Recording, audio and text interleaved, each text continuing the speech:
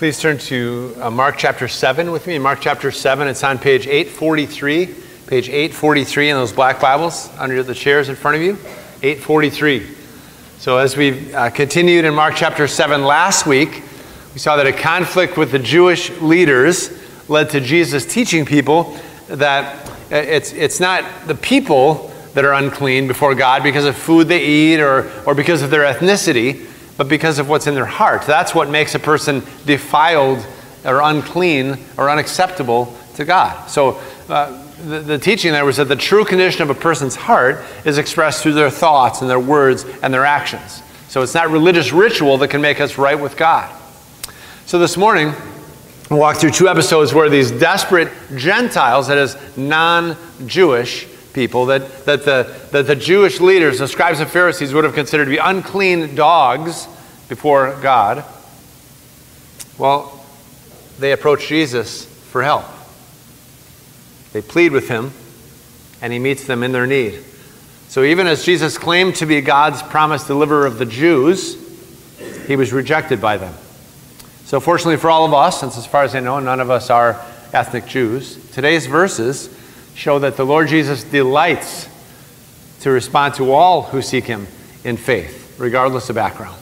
So, would you pray with me, please, as we open God's word together? Father, your word is precious. Thank you that your word, empowered by your spirit, does your work. And so, God, I ask you to do that now. I've, I've prayed, I've prepared, I've studied, I've, I've done these things, and yet, God, this won't mean anything unless you work in us as I read your word. And so, God, uh, with a trembling reverence, I ask that as I read your word, these most important words that will come out of my mouth this morning, that you would use your word to do your work. God, as I, as I preach them, would you be merciful to me in granting me a humility that would exceed any ability you've given and, and growing in me a character that reflects the character of Christ that would exceed any influence you give me just because I have a microphone. I do your work here. Thank you for this precious privilege uh, you give me to participate in your work this way. So God, this is my offering this morning. God, be, be glorified in Jesus' name. Amen. So, we're in Mark chapter 7, starting in verse 24, where the Lord Jesus leaves Galilee, it says, And from there he arose and went away to the region of Tyre and Sidon, and he entered a house and did not want anyone to know yet he could not be hidden. But immediately a woman whose little daughter had an unclean spirit heard of him and came and fell down at his feet. Now the woman was a Gentile, a Syrophoenician by birth, and she begged him to cast the demon out of her daughter. And he said to her, Let the children be fed first, for it is not right to take the children's bread and throw it to the dogs. But she answered him, Yes, Lord, yet even the dogs under the table eat the children's crumbs. And he said to her, For this statement, you may go your way. The demon has left your daughter. And she went home and found the child lying in bed and the demon gone. Then he returned from the region of Tyre and went through Sidon to the Sea of Galilee in the region of the Decapolis. And they brought to him a man who was deaf and had a speech impediment. And they begged him to lay his hand on him. And taking him aside from the crowd privately, he put his fingers into his ears and, after spitting, touched his tongue. And looking up to heaven, he sighed and said to him, Ephphatha, that is, be opened. And his ears were opened, and his tongue was released, and he spoke plainly. And Jesus charged them to tell no one. But the more he charged them, the more zealously they proclaimed it. And they were astonished beyond measure, saying, he has done all things well. He even makes the deaf hear and the mute speak. This is the word of the Lord. So, Jesus and his 12 disciples have been ministering in this Jewish region called Galilee for several months now. So, in today's verses, begin this account of them ministering throughout a couple of Gentile areas, up in Tyre and Sidon, and then down in the area of the Decapolis. So the Bible uses the word Gentile just to mean anyone who is not an ethnic Jew. So today's verses represent this point of transition in Mark for a season where he begins to, uh, um, uh, he, he's, uh, I'm sorry, he's beginning to, to minister among the Gentiles. So So, that being said, since it's a time of transition, we'll look back and just kind of get a, a, a foundation here to see that he was rejected by his own people, the Jews. But then he heads into this Gentile city called Tyre. We'll see more evidence of Jesus' authority over the spiritual world. And then as he heads to the Decapolis, uh, his uh, power over the, the physical world. So both episodes with these Gentiles present this idea that Jesus delights to respond to all who seek him in faith, regardless of ethnicity. And I get that word delights from Matthew 15. Matthew's account, he, he responds to the woman, I'll explain later, that she has great faith. So you can, you can tell this, this, this gratefulness, this joy in Jesus at her demonstrated faith.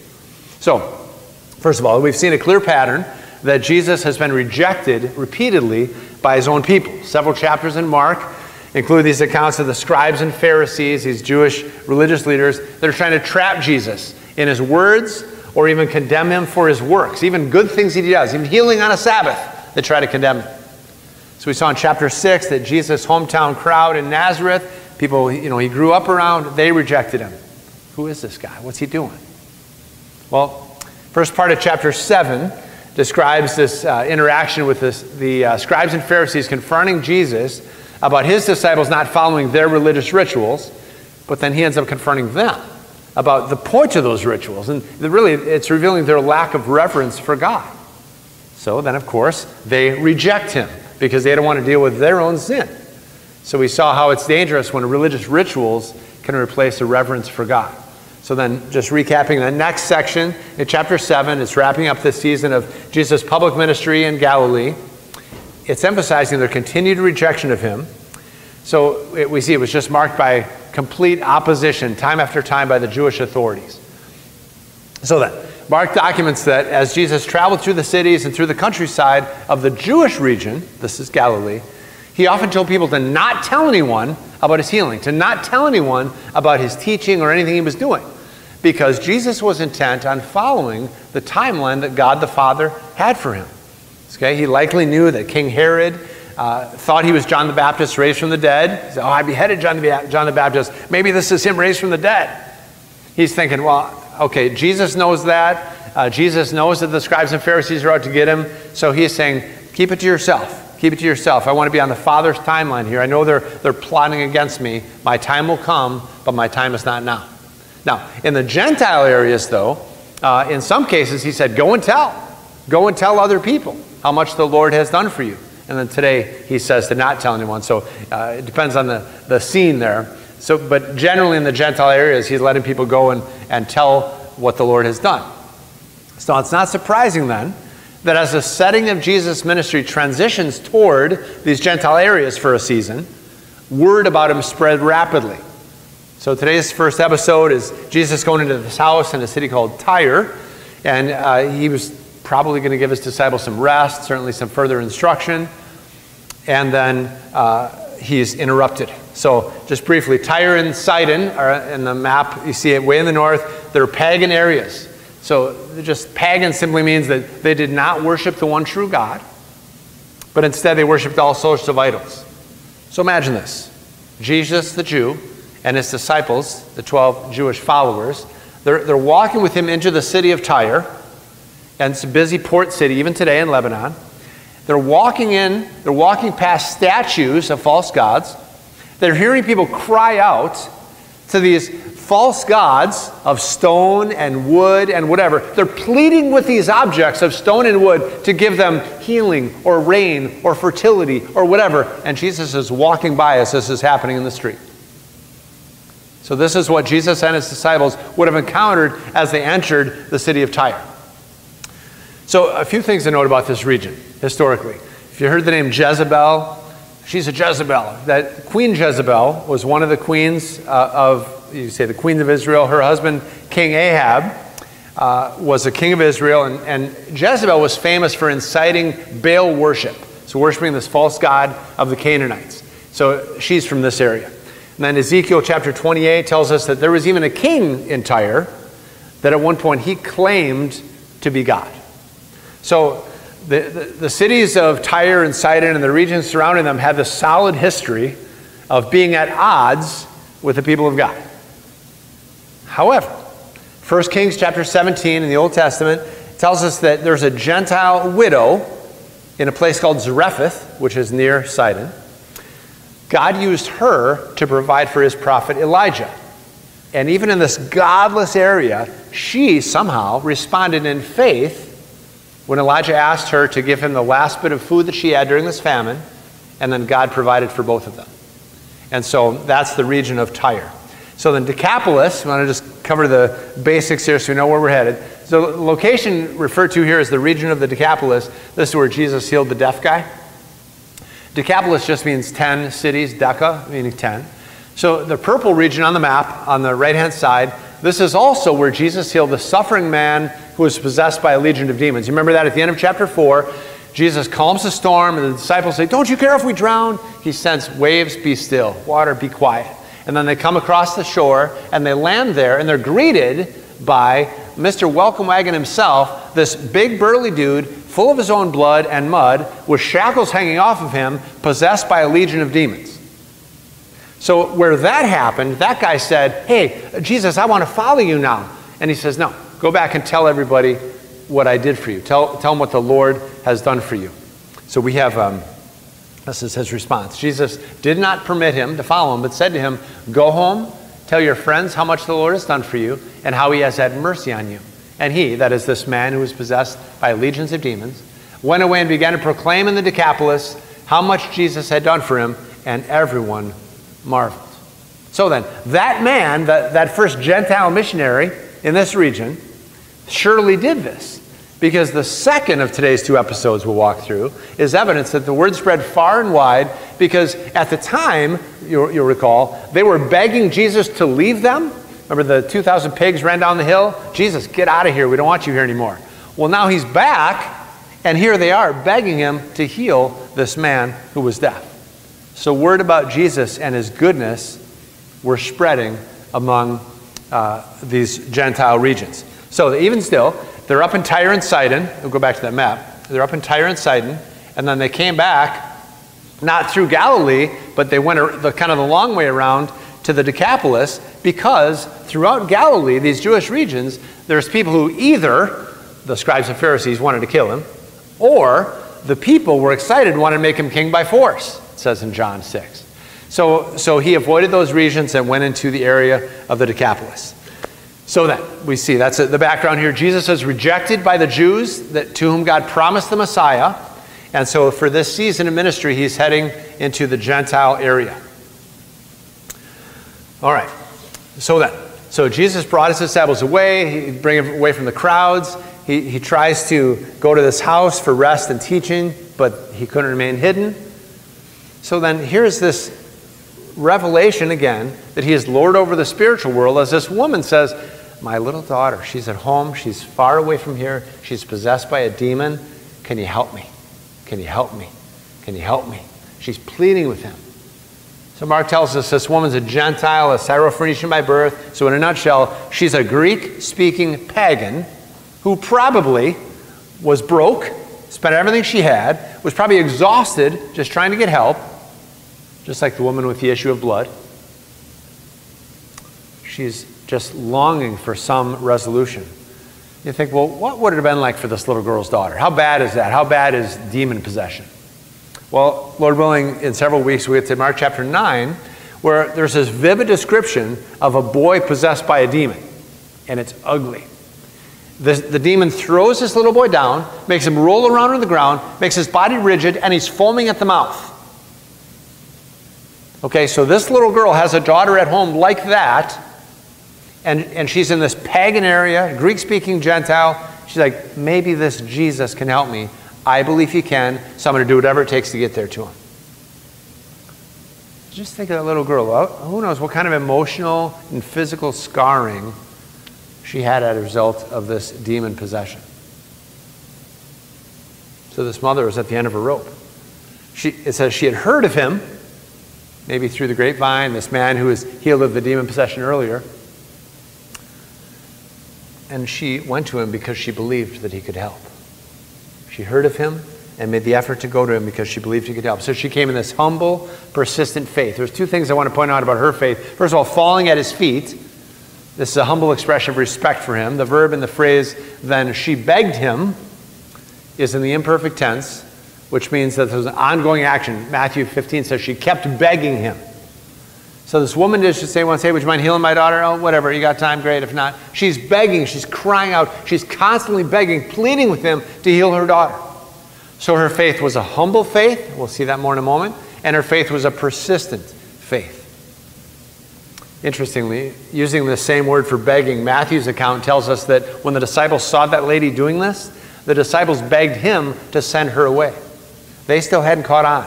They're still like the Jewish Pharisees we read about that are trying to send away the people who want to come to Jesus. Jesus said in Matthew 15, he says to the woman, I was only sent to the lost sheep of the house of Israel. Well, the scribes and Pharisees, the leaders of the house of Israel, the Jews, they considered anybody who wasn't one of them to be unclean and unfit to know God. We've seen that in the last several chapters.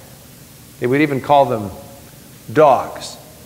Well, so reading of Jesus calling this woman a dog for us in modern 2023 thinking, especially in this country, we might think, Jesus, this is a horrible way to talk to somebody. What in the world? How in the world would you dare talk to someone like that? I thought Jesus was loving.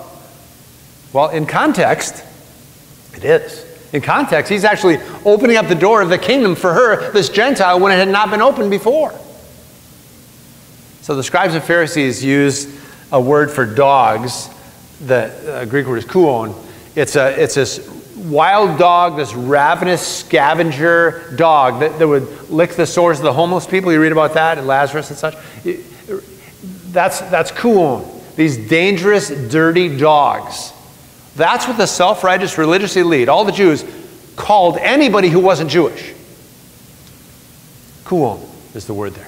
So the word that both Jesus and this woman used, that's also translated as dogs here in 27 28, it's a different word. It's related, but it's a different word. So the word is kunarion. So it specifically refers to a dog that would have been known and cared for in someone's home, like a pet. So, so Jesus uh, actually is, he's using this term to clarify God's unique covenant with Israel, with the Jews, but he's also communicating to her that just because they're first priority means they're a second, and you're part of that. So essentially, he's saying, look, no parent would interrupt their meal with their kids, while they're feeding their kids, to stop and feed their dogs. But then she has a response to that. So just camping on this idea of priority for a while, because this is kind of a new thing for us here. So God's priority uh, for the Jews that he sent Jesus the Messiah to is found throughout God's word. Romans chapter 1 says that the gospel is the power of God for salvation to everyone who believes, to the Jew first, and also to the Greek or, or Gentile. So clearly, this woman was not offended by being called kunarion. she jumped right in on this metaphor, and she's like, hey, well, well, fine. But even then, the little dogs get to be in the house and eat the scraps from the children while they're eating. So the woman speaks with humble confidence that God's great mercy will extend beyond just the Jews. We see that all the way back to Exodus, where it says there was a mixed multitude that went out with the people of God. So this is a theme throughout Scripture that, that the Jews will be first, but then he'll graft in, he'll gather in more people to be his own. But again, think about the context here of the, the religious elite going, hey, th- this idea that Jesus, who's taught in our synagogues, he's willing to spend time with this Kuon, this Gentile woman, that's scandalous.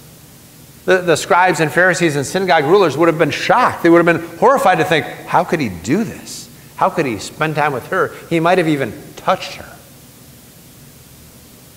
Well, it's interesting then to see that phrase, little daughter, in verse 25. You look at verse 25 there. Verse 25 in your text, this is a term of affection, this phrase, little daughter. It's only used one other time in the New Testament. And you know where it is? It's in Mark. And the irony is, it's used, it's found coming off the lips of a man named Jairus, of the religious elite, the synagogue ruler who says, Lord Jesus, my little daughter is sick. And then he dies. Jesus resurrects her. So, so here we have this contrast of social position. We have, we have this lady who's a Gentile And we have this guy who's a religious elite, the Jewish Pharisee, or I'm sorry, the, he's probably a Pharisee, he's the ruler of the synagogue. So you have this massive contrast in their social position, and Jesus healed both of their daughters. It continues to drive home the point that Jesus delights to respond to all who seek him in faith, regardless of their background or their ethnicity or their social standing or anything else that, that the world might differentiate, differentiate among them. So the woman didn't gasp when, when, and accuse Jesus of microaggression by calling her a kunarion. In fact, she responded in kind and used that same word. So she joined in with grateful humility, joined in the conversations. And her saying, hey, look, even the dogs under the table eat the children's crumbs. That was that, hey, even, even the family pets get to eat the crumbs. So, she, hey, I'm not messing with your time with the disciples. You keep doing what you're doing with them. Just, just throw me a crumb here. Well, the woman's humility and her persistence reveal the genuineness of her faith. The woman's humility and persistence reveal the genuineness of her faith. So her decision to take Jesus at his word revealed this simplicity of her faith. She's thinking, hey, you call me a house pet? Then I am. Fine. That's what I am. But that means I belong in the house. And that means I have a master. And that means the master is going to provide for me. And that means I'm known and I'm cared for in this house. So I'll take, I'll take what I can get. The precious uh, response of Jesus recorded in Matthew, he says to her then, Great is your faith.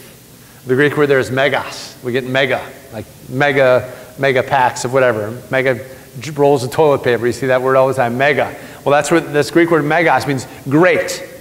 He says, Great is your faith. So the Lord Jesus is pleased with her demonstrating this, this humble, persistent faith. She trusts him to heal her, her daughter. Her faith brought delight to him. So Jesus called this woman's faith a mega faith because of her humility, because of her persistence. If she had not approached Jesus humbly, let's, for example, if she, she acted like he owed her something, or if she had been not been persistent, just asked him once and just kind of gave up and said, ah, it won't work anyway, would have shown that her faith is not genuine. But she was humble and she was persistent in her faith. So the woman's approach to Jesus then pleased him. So, what about us? I hold up a mirror here with this text. As you approach God in prayer, are your prayers marked by humility and persistence? Does God owe you something when you pray? Or are you seeking him and grateful you can even that he would even hear you as father and you're in his house? Are there my persistence? Or you just say, well, I asked him once or twice and I don't know, I'm just going to forget it. Remember that God is doing something in us while we pray. It's not always just about the giving and receiving of certain things. It's about the communion with God as we pray. So then, do you ever think about God delighting in your prayers? You ever think about Him delighting in your humility, delighting in your persistence, and saying, Look at this mega faith. Look at this mega faith. So, Scripture says there are ways we can delight the heart of God by taking Him at His word, believing what He has said about Himself. So, that's the Gentile lady with the demon possessed daughter. The second episode of Jesus healing in Gentile territory takes place in the region of the Decapolis on the east side of the sea. So only Mark includes this, uh, this detailed uh, healing of this, of this man's uh, um, uh, going from being a deaf mute to being able to speak plainly. So the Lord Jesus again revealed his, revealed his authority over the physical world as he responded compassionately to this deaf man's faith. That's what he was responding to. The man came to him in faith. Jesus responded to his faith. So it says that he had a speech impediment, so we can assume from that that there, he could speak to some extent, but because he was deaf, he couldn't hear himself. So likely he had some accident or illness that brought on that deafness. He could no longer hear himself. And you can imagine if you can't hear yourself speaking, you ever sing with uh, earphones on, people are like, What are you doing singing? Because it doesn't sound so great. It sounds a lot better to ourselves, right? Well, he can't even hear himself. So he's, over time, then it's, it's degrading. He's making these unintelligible sounds. So so he had this speech impediment. So I learned this week as I, as I just try to read about what it would be like to be deaf in ancient times, that obviously this is way before a standardized sign language was invented. The social stigma attached to being deaf was actually much worse than, than the stigma attached to being blind. So people could hear, people who couldn't hear were thought to be stupid. They just sit there like, what? I can't hear you. Or they were thought to be possessed by demons because of the unintelligible things coming out of their mouth. They couldn't hear themselves. They thought they were making sense, but they weren't. So uh, somebody who was deaf was seen as either stupid or possessed by demons. So think of this man, this poor man. He probably ostracized, probably done everything he could do to try and find relief and healing, but nothing at all worked until some family members or friends loved him enough to bring him to Jesus. Well, we have at least four important details of this man's healing in verses 33 and 34, if we look at the text there. For the four areas that I saw there his touch, he touched the man. Think of this man, like the leper in chapter 1 or earlier, he, he had never even been touched by people for decades. This man likely had not been touched either. Jesus touched him. Jesus looked toward heaven, Jesus sighed, and then Jesus spoke a powerful word. So, those four areas, we'll briefly walk through those. So, Jesus took him from the crowd to address him privately. Could be not to make a spectacle, or it could just be because he wanted to look at the man eye to eye and say, You matter to me. You're an individual. I recognize who you are, and I care about you, and I see your faith. I'm going to respond to your faith. And Jesus thrust or put his fingers in the man's ears. So in chapter 1, we, man, we read about this man with leprosy, as I mentioned. He hadn't been touched. This man is touched now. He's, his ears are being touched. Now, again, he can't, Jesus can't go, hey, I'm going to heal, your ears right now, okay? If he says that, all the guy sees is. So then Jesus touches his ears, and, go, and the guy's going, oh, something's going to something's going to happen here. He's going to do something. And then he takes his fingers out of the guy's ears, spits on his fingers, and touches the guy's tongue. That's another one you kind of wiggle in your seat going, oh, with COVID and personal hygiene, all we know these days, that probably won't go over well here. But in the first century, th- this gesture was understood as Jesus saying, I'm going to take my ability to speak and give it to you. I'm going to take my ability to speak and I'm giving it to you. So this man couldn't hear, so that's all he could see was Jesus' demonstrative gestures about what he was doing. That was Jesus' healing touch. So the second, Mark includes this detail that Jesus looked up to heaven. What do you think that was about? Well, this is God the eternal Son communicating to this deaf man that he, he was in constant prayerful communication with God the eternal Father in heaven. Jesus looked up to heaven to show this deaf man that this power that you're being healed from, that's where it's from. That's where it's from. And you can look there too. You can look there too. So we have the touch, we have the look to heaven, and then, and then third, he sighed. So we can understand this as a sign, uh, uh, as a sigh of grief, as a groan of grief. Not grief that Jesus wanted to rest and do something else, not grief that he's annoyed with this guy, but grief over the devastation that sin has caused this world. The effect of sin over the whole world has just left us broken, brutalized. This man had been suffering for so long. So Jesus sighed the sigh of compassion because he could feel the weight of this man's suffering. This is a compassionate sigh. And then, fourth, he looked up to heaven, he sighed, he commanded, Ephphatha, and the man's ears were open. It means be opened. The tongue was released, he spoke plainly. So notice that God's word did God's work here. I talk about that all the time. God's word does God's work. And the phrase, his tongue was released, literally means that the chains that bound the man's tongue were broken. How about that? The Lord Jesus speaks, and the chains of this man's tongue are broken. But then what happened? Did he go to a year of speech therapy to try to recover things? No. It says he spoke plainly. He spoke plainly. How miraculous. Imagine watching this happen as he come back out of this private area where Jesus and this man were. Imagine like, hey, what's going on, guys? Jesus, boy, is amazing. I can't believe what he just did for me. He spoke plainly. So the healing was not only immediate, but it was also complete. There's no need for speech therapy for a year. Jesus responded to this man's faith in such a way that it was immediate and was complete healing for him. All this is accomplished by his word. As I've said, God's word does God's work even today. I mean, what about me? How can I hear God's word? I'd like to hear that. I'd like to be healed in some way. I've got these emotional scars from my childhood, or I've got this relationship baggage from my adulthood. How can I be healed? How can I hear God's word? Underneath the chairs in front of you, there's a black cover on it. if you don't have one, take it home and read it. This is God's word that always does God's work, even today. This is a treasure God has given us in the Bible. So, so Mark included these details then of Jesus' touch, and Jesus' look to heaven, Jesus' sigh of compassion, and Jesus' powerful word, so that this tells something about what Jesus is like. Mark includes this to, add, to build his case and make us say, Who is this Jesus? Who is this? Well, the Old Testament prophecies of Isaiah anticipated the coming of God's promised deliverer who, who would begin to reverse the curse of sin, would open the eyes, open the ears, restore God's people to himself. Isaiah chapter 35 looks ahead to the coming of God's promised Messiah with these words. It says, Then the eyes of the blind shall be opened, and the ears of the deaf unstopped. Then shall the lame man leap like a deer, and the tongue of the mute sing for joy. There's even a reference earlier in first couple verses of Isaiah 35 that actually talks about it being in the desert up there in Tyre and Sidon, the deserts of Lebanon.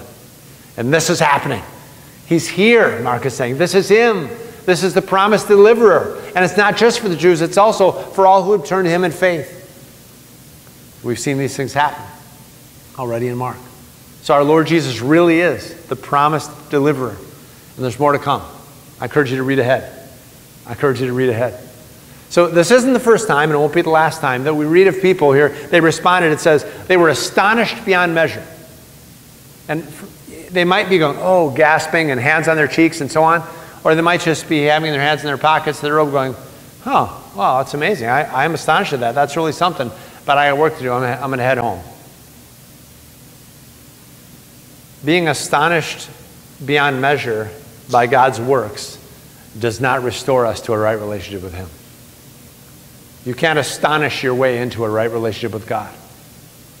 So, what does? Well, this is only a, a, a, chapter, a part of a chapter in Mark.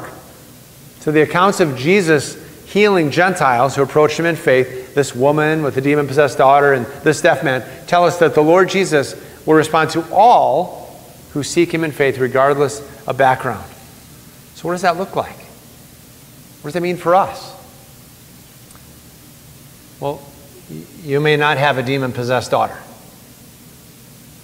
But Ephesians chapter 2 says that you were born into the captivity of sin and under the power of Satan. None of us are physically deaf, but God's word says that we were all born spiritually deaf. So, Mark's purpose in writing is to proclaim the good news that, that's a Son of God and Son of Man came not to be served, but to serve. And how would he serve? He would give his life as a ransom for all who turn to him in faith, regardless of their background. So, beloved of God, our, our sure hope for all eternity with God is that the perfectly righteous life, the completely sacrificial death, and the triumphant resurrection of Jesus the Christ is counted as ours when we place our faith in him. Just as for this man, Jesus speaking became his ability to speak. Jesus' life is ours by faith, now and forever. So this afternoon, we get to interact with a bunch of people at the block party. A bunch of our neighbors will be coming down the street around 5 o'clock with their camp chairs to come and sit under the tents and maybe uh, have something to drink and have some, something to eat. Well, they may be primarily coming here for food or for fun or for fellowship. But whether or not they recognize it, they have a greater need. They have a greater need, and that is to be reconciled to God by His grace. And there's one hope, there's one way that God the Father has given, and that is the person of God the eternal Son, Jesus Christ. And so, beloved of God, may the Lord use us to be a light for Him as we delight to live out our faith in Him together.